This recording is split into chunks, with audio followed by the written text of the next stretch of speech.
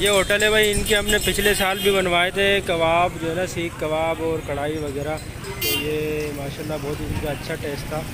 तो डेली मलिक था।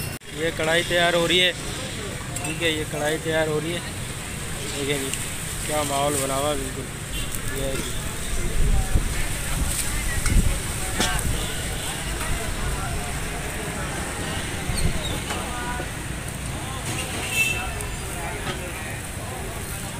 ये इसमें टमाटर ऐड हो। गए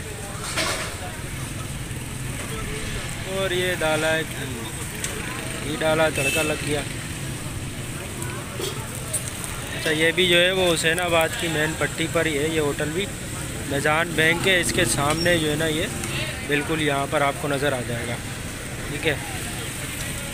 ऑर्डर हमारा तैयार हो गया है। तकरीबन जो है वो तो दो किलो जो, दो किलो जो है वो सीख कबाब था।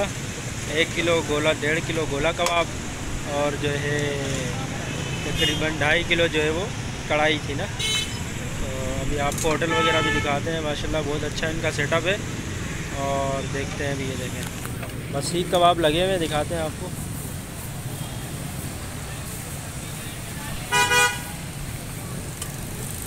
उस्ताद, कितनी देर लगाओगे? हो गया भैया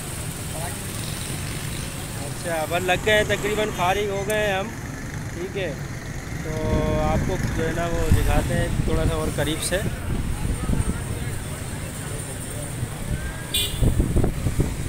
ठीक है जी तो ये हम आए हुए हैं दिल्ली मलिक। कहाँ तक पहुँचे हैं हम अभी? यहाँ पर हमने गोला कबाब बनाया सीख कबाब अपना लगा हुआ है। अच्छा सीख लगा हुआ है। अभी कितना टाइम और लगेगा? भूख लग रही है उस्ताद। सात मिनट लगेंगे है? और पराठों की क्या पोजीशन है? कढ़ाई हो गई तैयार अपनी? अच्छा ये रखी हुई है? भाई, पराठे वराठे लगवा दिए उस साथ अच्छा लग गए? हटना थोड़ा। बन गए भाई, पराठे अपने। नान हो गए तैयार, बाबा? छः पराठे हैं। ये हो गए भाई हमारे। दो पार्सल तैयार हो गए हैं।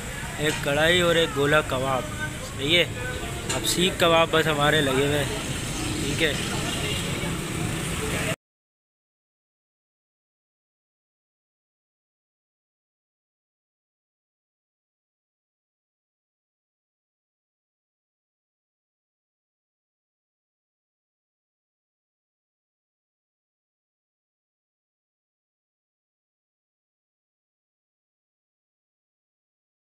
देखो जी ये।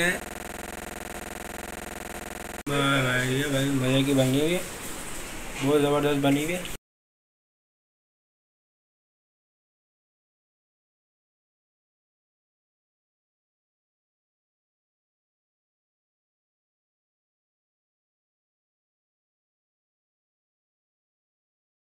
कबाब वगैरह हमने रात को निपटाए थे ना तो मैंने सोचा कि जो है अपना ऑफ़िस के लिए भी जो है ना वो सीख कबाब थोड़े से ले लिए जाएँ। अब दोस्त यार जो है वो वीडियो देखेंगे तो बोलेंगे, भाई, हमारे लिए सीख कबाब नहीं लेके आए। तो इससे ये कि बेगम, थोड़े मेरे लंच बॉक्स में ना सीख कबाब भी रख देना। देखते हैं फ्रिज में है भी या नहीं है। निपट तो नहीं है रात को। अरे भाई, ये तो अच्छे खासे रखे हैं। ठीक है। तो भाई ठीक है, मैं फिर उबैद भाई तुम्हारे लिए मैं जो है वो लेके आ रहा हूँ सीख कबाब ना आज। तो शौकीन है, माशाल्लाह हमारे उबैद भाई ना, खाने पीने के ना। तो ज़रा इनका ख्याल रखना पड़ता है।